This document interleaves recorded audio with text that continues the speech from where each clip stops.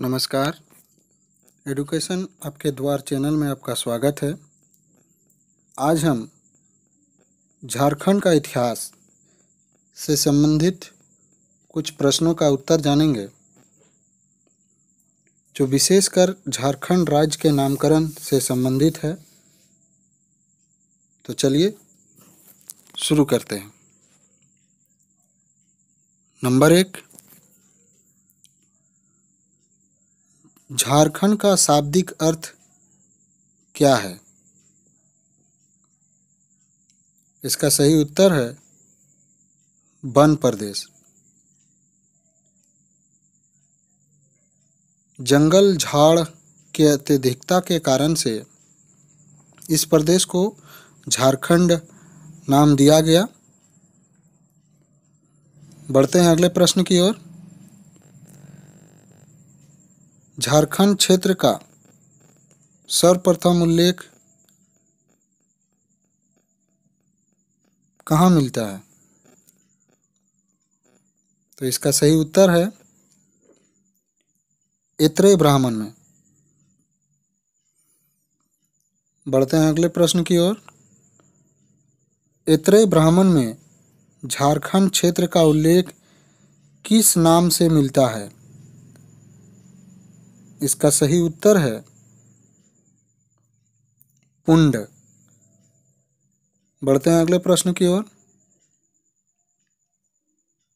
वायु पुराण में झारखंड को किस नाम से संबोधित किया गया है? इसका सही उत्तर है मुरंड। बढ़ते हैं अगले प्रश्न की ओर। विष्णु पुराण में झारखंड को क्या कहा गया है? इसका सही उत्तर है मुंड। बढ़ते हैं अगले प्रश्न की ओर। महाभारत के दिग्विजय पर्व में झारखंड क्षेत्र की चर्चा किस नाम से मिलती है? इसका सही उत्तर है पुंडरीक देश। बढ़ते हैं अगले प्रश्न की ओर। टोलमी द्वारा झारखंड को किस शब्द से संबोधित किया गया है? इसका सही उत्तर है मुंडल। बढ़ते हैं अगले प्रश्न की ओर। फाहियान द्वारा झारखंड की चर्चा किस नाम से किया गया है? तो इसका सही उत्तर है कुक्कुट लाड। बढ़ते हैं अगले प्रश्न की ओर।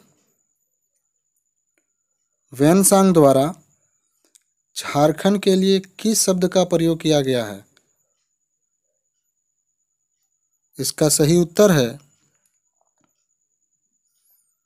किलोना सुफा लाना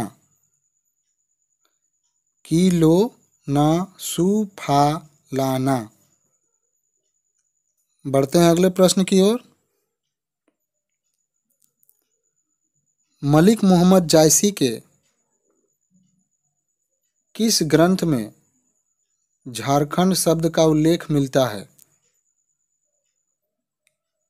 तो इसका सही उत्तर है पद्मावत में।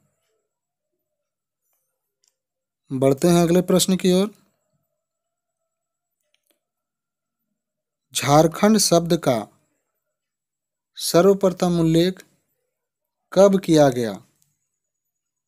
झारखंड शब्द का उल्लेख सर्वप्रथम कब किया गया? तो इसका सही उत्तर है तेरहवीं शताब्दी में। बढ़ते हैं अगले प्रश्न की ओर। मुगल काल में झारखंड को किस नाम से जाना जाता था? इसका सही उत्तर है खुखरा या कुकरा प्रदेश।